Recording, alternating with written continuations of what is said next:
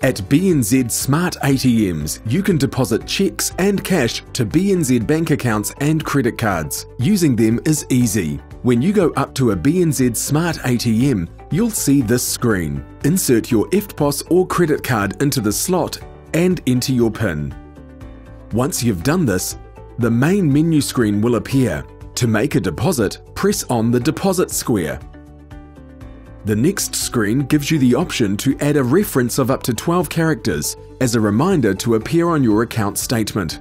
Press enter when you are done, or press skip to skip this step. This will bring up a list of your accounts. Select the account you want to make the deposit to. You can insert a combination of up to 50 New Zealand notes and cheques into the deposit slot. Press continue to make the deposit. Cheques should be oriented with the written side facing up and the bottom of the cheque on the right. Some BNZ Smart ATMs also allow coin deposits. Watch our video on how to deposit coins in the ATM. The Smart ATM will show you a summary of your deposit. At this stage, you can choose to cancel the transaction or you can click on Complete Deposit to finish the transaction.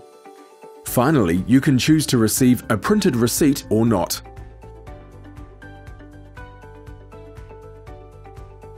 Take your receipt. You will now be given the option to return to the main menu or press Return Card at the bottom of the screen when you're done. Remember to take your card.